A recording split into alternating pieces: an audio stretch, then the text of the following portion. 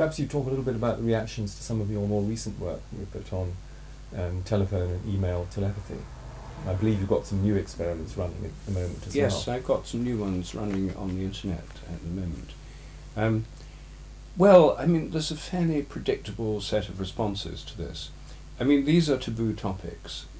Anything to do with telepathy, anything that suggests the mind is more than just the brain.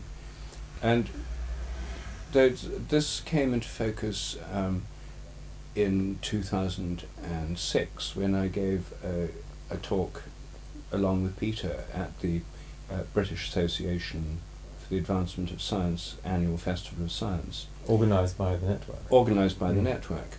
And the, at the press conference in the morning, there was, it was clear that this was attracting much more attention from the media than most of the other worthy talks, some of which one could say were rather dull as part of the conference. Yes. Um, and this, the attention that this generated, Peter talking about near death and nearing death experiences, my work on telephone telepathy, Deborah Delanoy's talk on reviewing work in parapsychology, um, generated a great deal of interest. And precisely because of that, it led to a backlash. And some science journalists who themselves are committed to a very mechanistic, dogmatically materialist point of view, fanned up a controversy by interviewing uh, people they knew were against these things to say it was all rubbish, and then they attacked the British Association for allowing these topics to be discussed.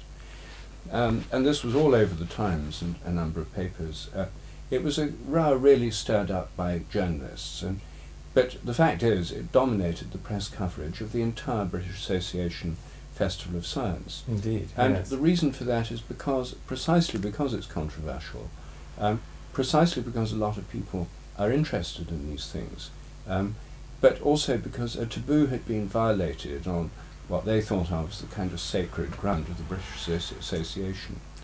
Interestingly enough, although the Times ran two pages denouncing telepathy and the British Association uh, on its science pages, um, the uh, assistant editor rang me up and, uh, and, they, and asked me to do um, a thousand word feature for their opinion pages, putting my point of view.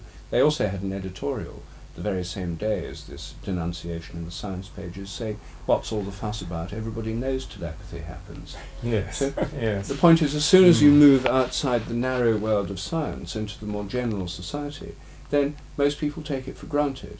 So we have here, in the larger context, a small, embattled subculture uh, within the world of science to which most intellectuals feel they have to pay at least lip service. Yes. Because this is the Enlightenment, scientific, rational, as they see it, point of view. And the, the Peter, people like Peter and me are not saying we're against reason and science. On the contrary, we're saying we're in favour of reason and science and that we need more of it, not less. We just need to expand Precisely. the frontiers of science rather than turning science into a kind of fundamentalist, dogmatic belief system. It's a system of inquiry, not a system of, of um, you know, setting limits to what you can talk about. Indeed.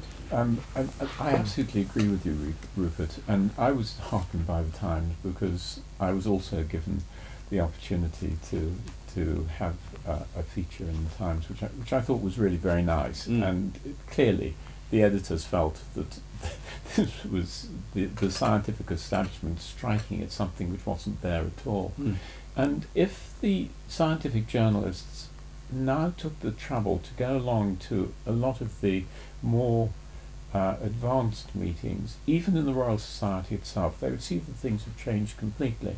There's a very nice uh, talk given there by Schwartz looking at um, the uh, the mathematics of von Neumann and the idea that uh, the von Neumann, what's called von Neumann 2 process, which is one in which the um, quantum mechanical effects occur in large objects, um, uh, can take place and was written up in the proceedings of the Royal Society. And the argument that the authors ended with was that um, uh, it's quite clear that consciousness is now outside the brain and that mental effects affect the brain. And you were beginning to talk a little bit about telepathy between two people and how telepathy continued um, on, with the relationship at a distance. And this is exactly what they were saying. And one of the lovely experiments is such a simple one, uh, and we've known it for years, and this is the placebo experiment. Give somebody a piece of chalk and tell them it is the most fantastic dopamine agonist, particularly if you have Parkinson's, uh, chemical, and then measure the way the dopamine receptors change in the brain. Uh, and you show that the dopamine goes up and it's much more powerful than some of the dopamine agonist drugs. Mhm. Now, that is pure uh, embedding in the cultural context. Mm. And once you get that sort of data coming through, you cannot argue anymore for just the, the play of neurons. It's got to Mm. be something much wider.